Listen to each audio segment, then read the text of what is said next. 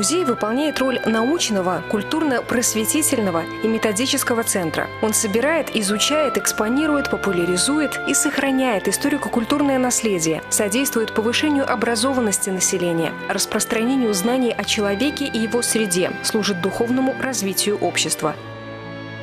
Закон Республики Беларусь о музеях и музейном фонде. Государственное историко-культурное учреждение Гомельский дворцово-парковый ансамбль – одно из старейших и наиболее авторитетных музейных учреждений Республики Беларусь. Сегодня в его состав входят шесть объектов – памятников архитектуры 18-19 столетий. Причем все они включены в государственный список историко-культурных ценностей, охраняемых государством. Только в 2015 году комплекс посетили более 300 тысяч человек, каждый пятый из которых не гражданин Беларуси. Централизованно приезжают посмотреть дворец.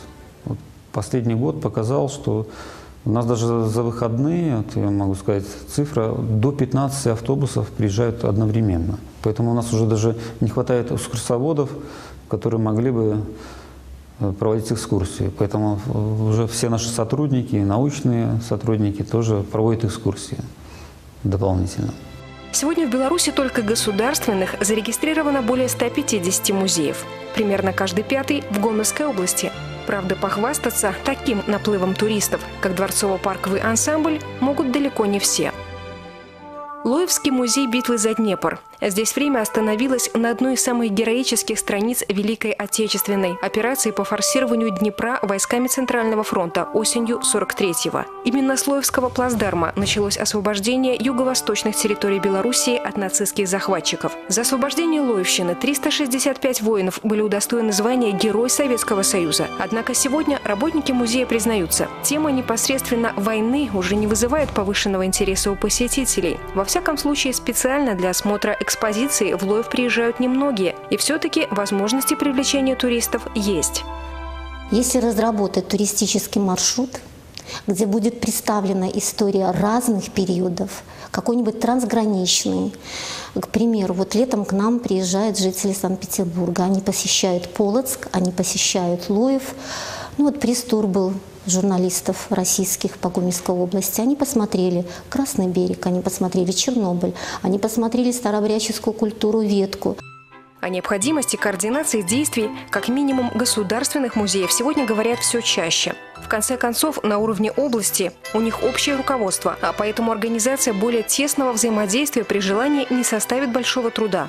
Стереотипы, что музеи – это для школьников и туристов, легко преодолеваются, стоит лишь приложить для этого немного усилий и фантазии. Главное понимать, все музеи, и столичные, и региональные – это не отдельные разрозненные островки, а единое пространство –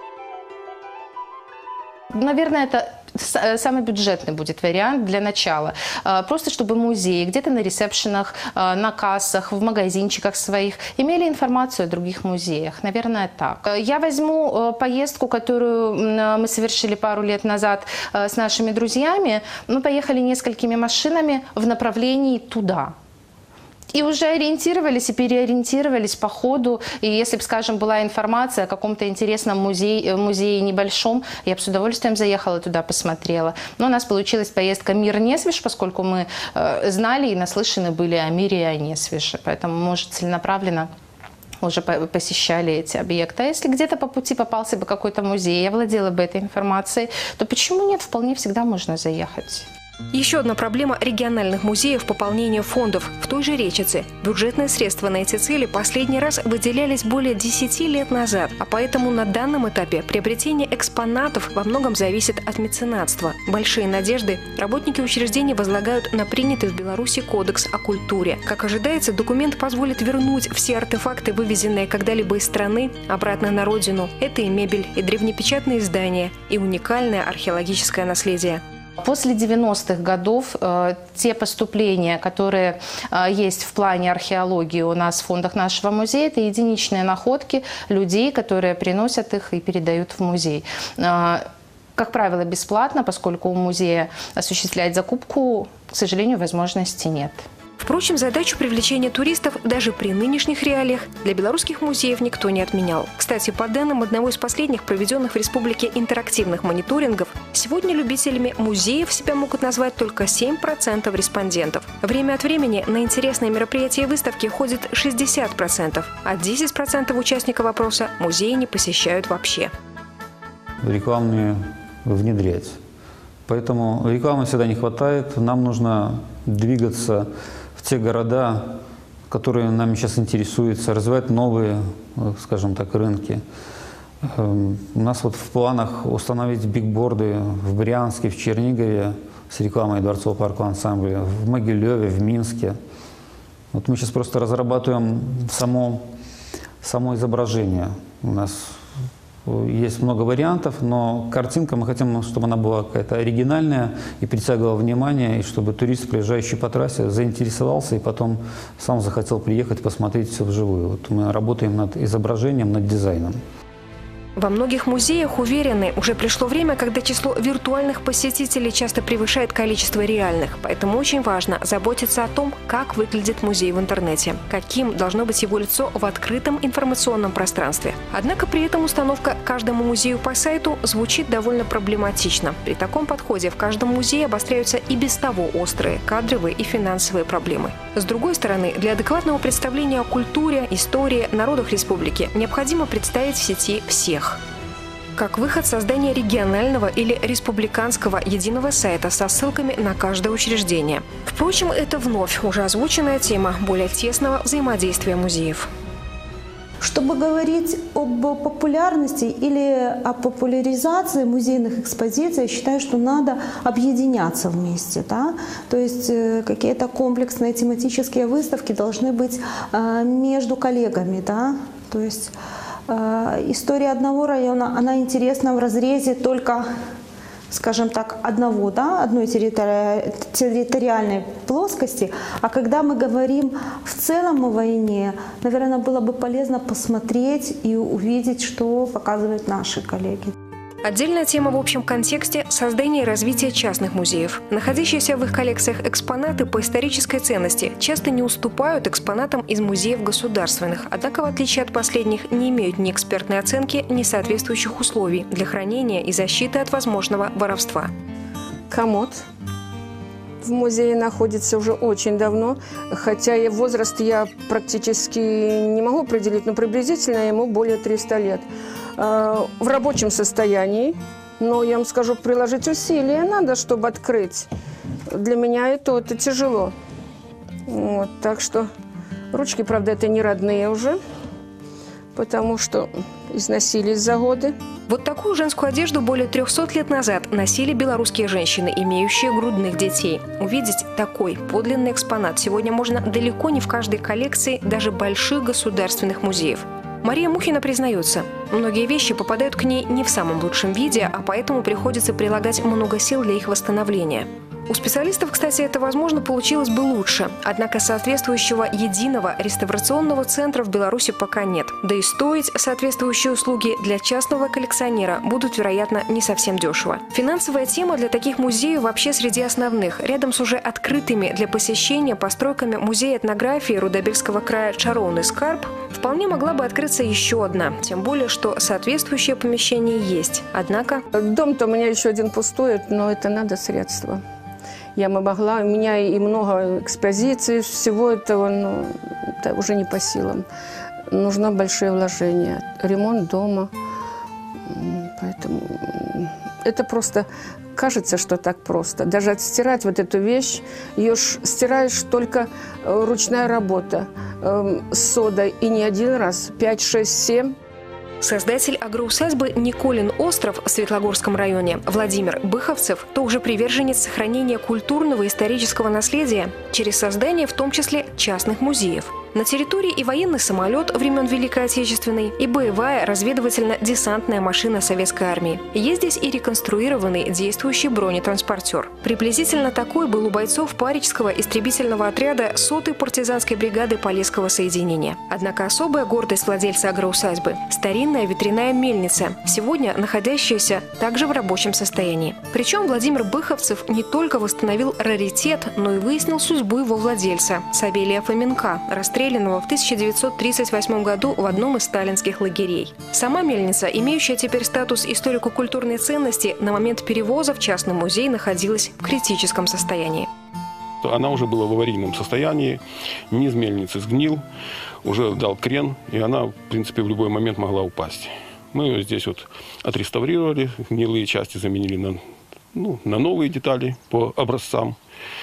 А так все старались сохранить. То есть валы, жернова, все старинное. На их клейма стоит 1847 год, 1873, камни эти клейменные все. Именно царские клеймы стоят, орлы выбиты, все. Что такое музей в нашем традиционном представлении? Экспонаты за стеклом, торжественная тишина в помещениях, экскурсовод, знающий все на свете. Однако вот всего несколько примеров из современной белорусской истории. Вилейский краеведческий музей проводит автопробег по местам, связанным с Первой мировой войной. Мядельский музей народной славы приглашает на театрализованные экскурсии край Нарочанский, край Партизанский, который проводится в лесу на месте базирования бригады имени Ворошилова. С одним днем из жизни доисторического мальчика – могут познакомиться гости Любани. А в Брестском областном краеведческом музее организовали мастер-классы по стрельбе из лука. Директор Светлогорского историко-краеведческого музея Ирина Заяц уверена, экспозиции должны быть доступны на ощупь, чтобы посетителю можно было подержать предмет в руках. Возможно, не всякий, однако хотя бы некоторые. Пример «Ночи музеев». У нас была квест-игра, и мы посредством формы квест-игры задействовали военный зал. Там тоже надо было очень... Я, я не скажу сейчас, какие там задания проходили, но этапы заданий, и ответ был в экспозиции. Да? То есть простой рассказ лекционный, он для молодежи не информативен, скажем так, для подрастающего поколения. Надо дать некую загадку, которую впоследствии в экспозиции посетитель может разгадать. Реческий эколого-культурный центр – учреждение не совсем музейное. Во всяком случае, только экскурсиями здесь не ограничиваются. Два любительских объединения – мультистудия плюс театрализованные представления природоохранной тематики. Главная задача – научить людей беречь окружающую среду, а поэтому экологическое воспитание здесь считают необходимым начинать с самого раннего детства. Работа центра, э, эколого-культурного центра, не останавливается только в стенах нашего здания. Э, Сотрудниками была разработан, был разработан такой новый проект а, с выездом на детские сады. А, почему было принято такое решение? Да, просто потому, что не все детские сады могут побывать у нас, приехать к нам. А, как вы понимаете, вообще экологическое образование должно начинаться с очень маленького возраста. И вот сейчас у нас а, есть такая экологическая сказка-игра, с которой мы выезжаем на детские сады. Это театрализация, это скажем так, в виде сказки мы преподносим и учим детей, как нужно относиться к природе, как нужно ее любить, а, что можно делать, что нельзя. Сегодня с помощью музея можно показать этапы истории республики и конкретного региона, расставить необходимые акценты. В музее можно виртуально реконструировать утраченное наследие, рассказать о жителях, о вкладе населенного пункта в национальную историю. Однако при этом специалисты предостерегают, ни при каких условиях музей не должен превращаться в развлекательный центр. Ни для кого не секрет, сегодня некоторые учреждения в погоне за выполнением платных услуг переходят в разряд развлекательных комплексов. Правда, из небольших районных центров проблема часто видится несколько иначе. В Реческом краеведческом музее не отрицают. При желании и соответствующем финансировании сюда можно привести любую коллекцию живописи мирового уровня. Другой вопрос – востребованность и окупаемость проекта. Живопись в последнее время, к сожалению, это беда не только нашего музея. К сожалению, э, она становится все менее и менее интересна. Люди хотят, чтобы их развлекали, чтобы им танцевали, чтобы им показывали восковые фигуры или что-то прочее еще. К сожалению, сейчас пошел именно такой посетитель музея, который хочет, чтобы его развлекали, а не чему-то учили. Вот, поэтому какие-то вести большие проекты в нашем случае, увы, нецелесообразно.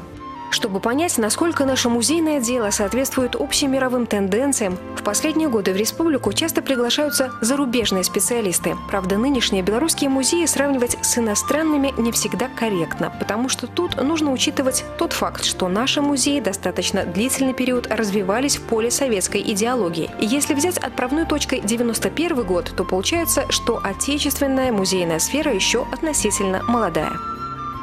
Ну, такие основные белорусские музеи – это Национально-исторический музей и Национально-художественный музей. Вот мы обмениваемся выставками. И плюс э, работа с многими российскими музеями. Курский краеведческий музей, потом э, Академия искусств Андреяки московская, потом Жельский э, музей. И сейчас вот э, у нас уже планируется выставка совместно с Эрмитажем. Это тоже э, беспрецедентный случай, когда Эрмитаж, самый главный музей Российской Федерации, работает именно с региональным музеем, в данном случае с нами. Такого еще не было. И в заключение об итогах еще одного мониторинга. Результаты ответов показали. Абсолютное большинство музеев имеет в своих экспозициях разделы, характеризующиеся шаблонными представлениями о такой хозяйственной деятельности, как земледелие и ремесла, интерьерах христианского жилища и декоративно-прикладном искусстве. Такие компоненты традиционной культуры, как народная педагогика, медицина и кухня, практически не отражены. При этом, по мнению респондентов, посетителям трудно воспринимать информацию без комментариев экскурсовода, что в свою очередь не соответствует соответствует требованию доступности экспозиции для одиночного посетителя. Впрочем, теперь ситуация должна во многом измениться, а озвученные проблемы в значительной степени остаться в прошлом. Если не сейчас, то в ближайшей перспективе. В июле 2016 года в Беларуси принят первый на постсоветском пространстве Кодекс о культуре. Понятное дело, что кодекс – это основной будет, так скажем, документ для работников культуры. Но независимо ни от чего, определенные, так скажем, статьи потом будут подкрепляться подзаконными нормативными актами. Это будут определенные, возможно, там, постановления Совета Министров и так далее.